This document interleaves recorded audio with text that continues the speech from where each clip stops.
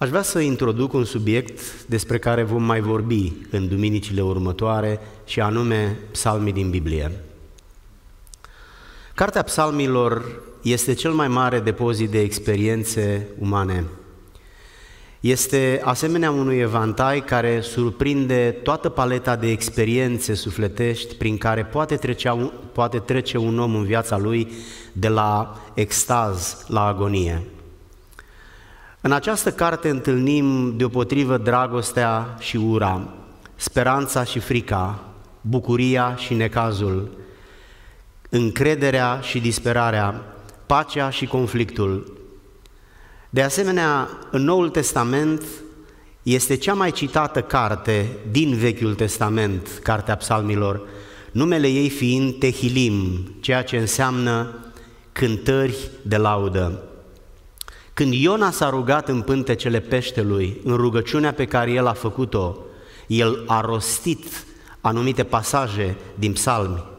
Atât Mântuitorul cât și apostolii săi au citat mult din psalmi în predicile și în mesajele lor de învățătură.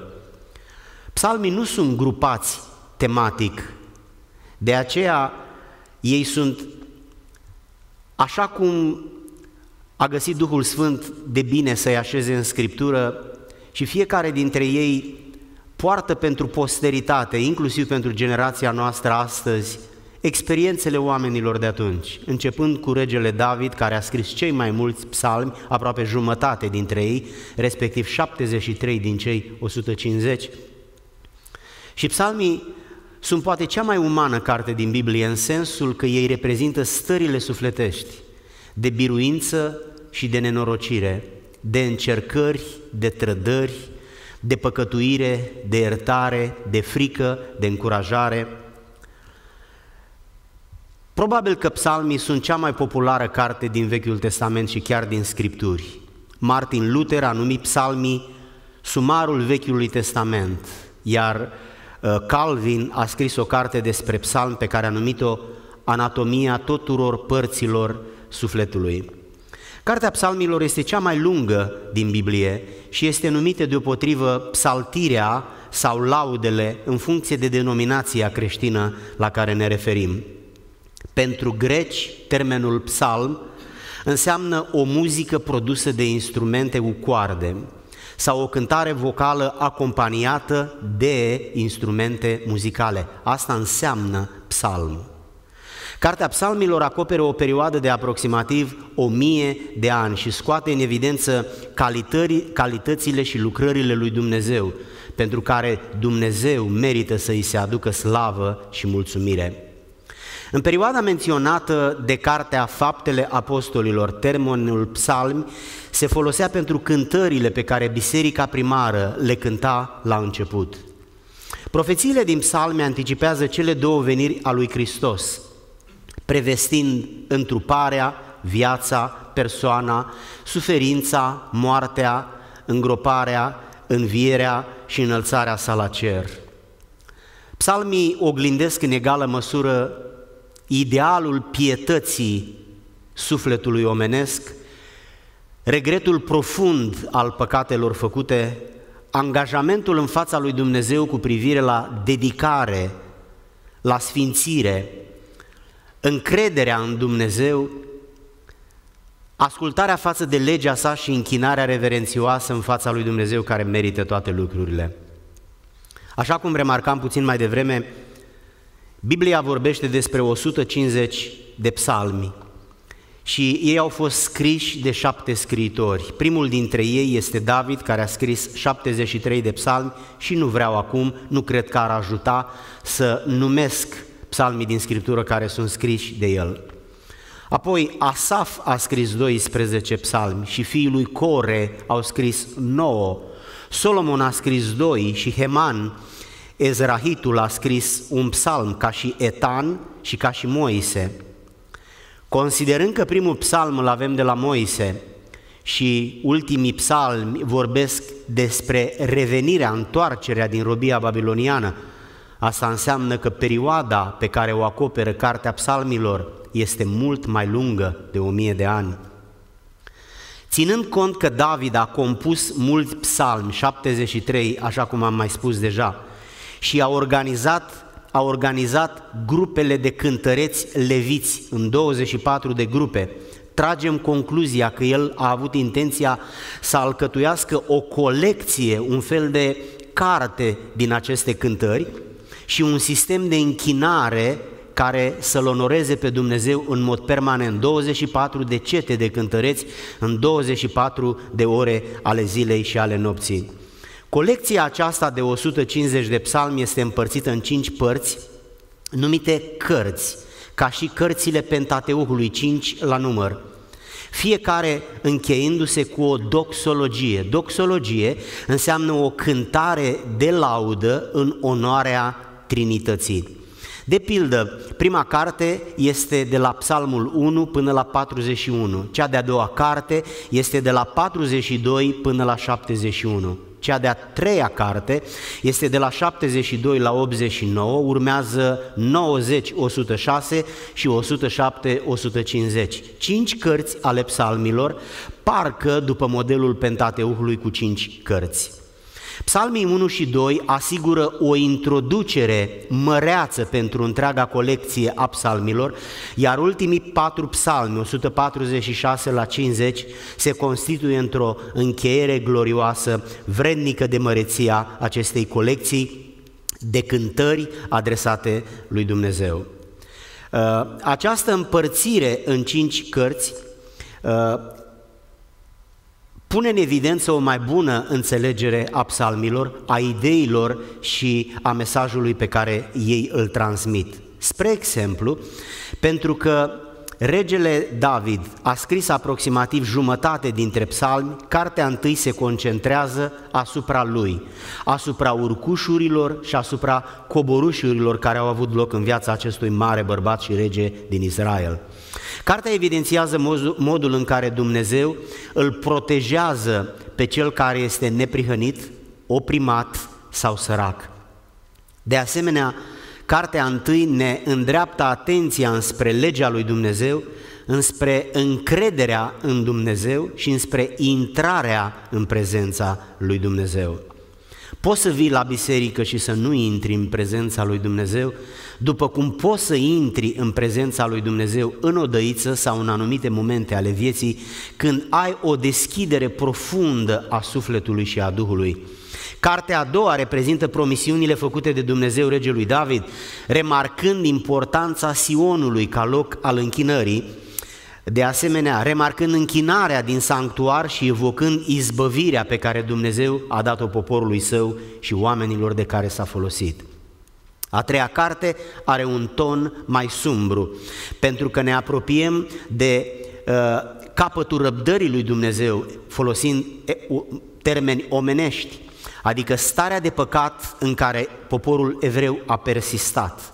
L-a pus pe Dumnezeu în situația să le administreze o a treia robie, de data aceasta în Babilon. De fapt, a doua, că cea de-a treia a fost mai lungă. Și aici au stat 70 de ani, iar a treia carte uh, are un ton mai sumbru, începând să prevestească această uh, perioadă de robie în care ei vor merge ca un rezultat al păcatelor lor, ca o expresie a mâniei lui Dumnezeu. Sunt menționate chiar pedepse și blesteme în această carte a treia pentru răzvrătirea poporului, însă nu lipsesc cuvintele pozitive cu privire la Sion. A patra carte se repetă ideea exilului, se remarcă regalitatea lui Dumnezeu ca și conducător al Universului, de aceea avem psalmi regali și mesianitatea lui Isus Hristos ca și mântuitor, de aceea avem psalmi mesianici. Când vorbim de psalmi regali, vorbim despre domnia și suveranitatea lui Dumnezeu în calitate de conducător al cosmosului. Când vorbim de psalmi mesianici, vorbim de întruparea Mântuitorului Isus Hristos în ceea ce noi numim Mântuitorul nostru. Ultima carte, cea de-a cincea, prezintă perioada post-exilică, adică întoarcerea din robie, accentul fiind pus pe restaurare și pe reînnoire.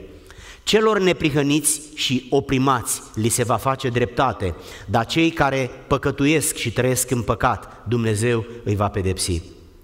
Psalmii deschid partea a treia din scripturile evreiești, probabil motiv pentru care Mântuitorul Iisus Hristos pomenea în mod specific despre lege, profeți și psalmi. Psalmii sunt de mai multe feluri.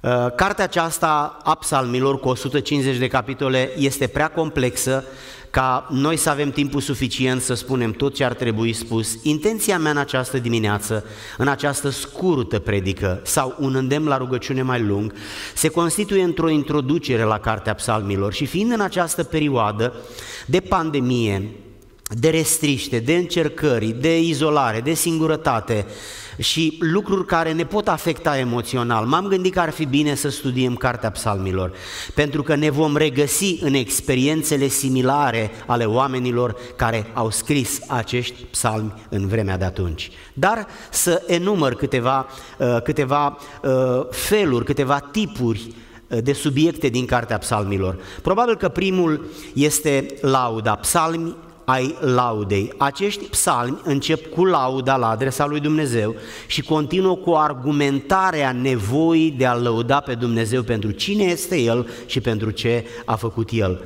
Aici întâlnim expresiile căci sau pentru că, cu alte cuvinte lăudați pe Domnul pentru că, sau căci El a făcut așa și așa. Aici sunt incluși, așa cum spuneam, psalmii regla, regali și mesianici. Apoi sunt psalmii de rugăciune.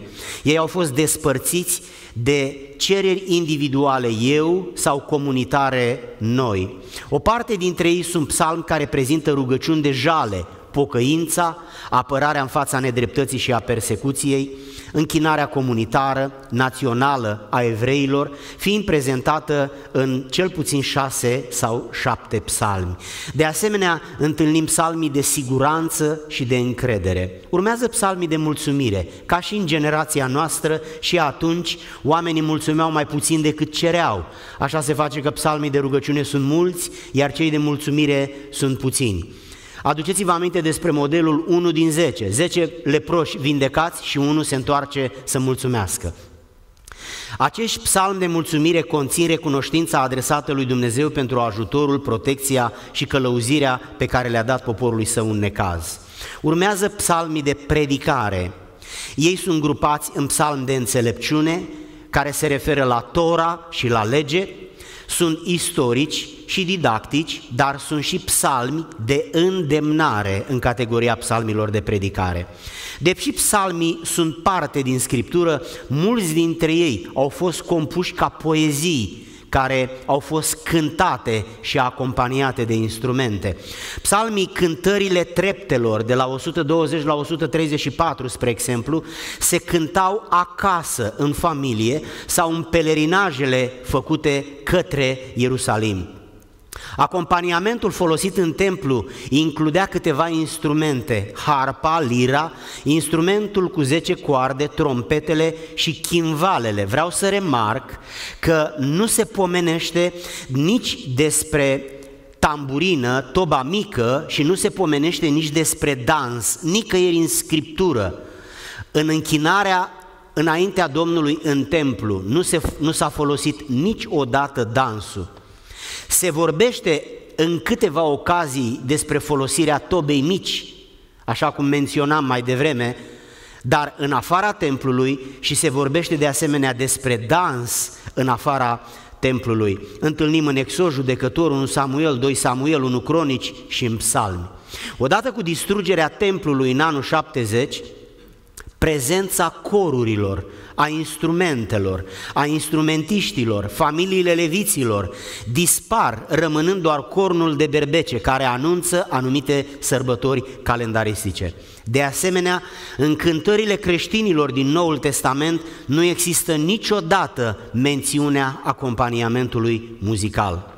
Atitudinea aceasta a fost generată cel puțin de două, din două motive. Primul dintre ele, instrumentele de la templu erau privite ca un specific, ca o parte a culturii evreiești și dansul de asemenea și ca un gen muzical din epoca prematură. Încă ceva, instrumentele muzicale au fost asociate în generația aceea cu practicile senzuale păgâne. În bisericile ortodoxe răsăritene, ele nu au fost introduse niciodată, deși în vremea timpurie erau folosite instrumentele cu percuție de bisericile copte sau etiopiene pentru o perioadă limitată de timp. Biserica protestantă din secolul XVI a introdus cântatul cu adunarea după secole în care membrii bisericilor au fost doar simpli spectatori, nu făceau nimic, veneau ca la un spectacol și se uitau. Luther a încurajat cântatul psalmilor a obiectat față de folosirea orgii, deși nu s-a opus folosirii instrumentelor în calitate de acompaniament.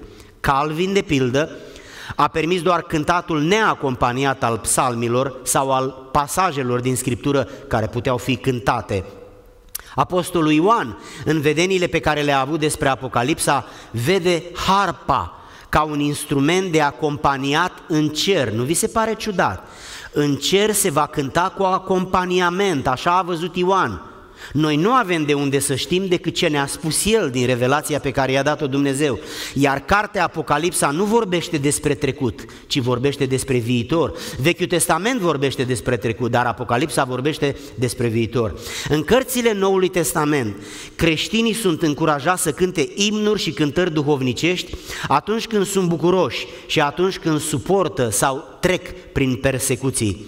Dacă ceea ce se cântă în ceruri face referire la mielul care a fost înjunghiat pentru noi, respectiv Apocalipsa capitolele 5 și 15, este normal ca biserica să cânte în cinstea Domnului și să nu se limiteze la specificul cântărilor din Vechiul Testament, dar nici să nu le evite.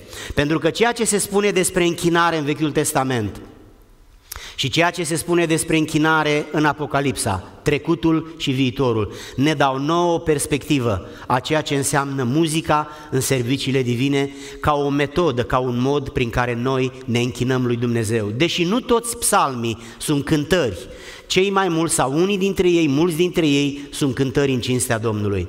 Frații mei, surorile mele, am făcut această introducere pentru predicile pe care le voi prezenta prin Harul Domnului despre psalmi, pentru că ele vorbesc despre oameni care trec prin adversitățile vieții, prin boli, prigoniți, trădați, alungați, vânați, răniți, prigoniți, și socotesc că perioada aceasta în care ne aflăm uh, este o perioadă care ne expune la experiențe similare cu experiențele lor. Întotdeauna când cineva se îmbolnăvește sau trece printr-o perioadă grea, citește cartea Iov și cărțile psalmilor, pentru că sunt experiențe cu care te poți identifica. Așa că în momentele următoare o să ne rugăm.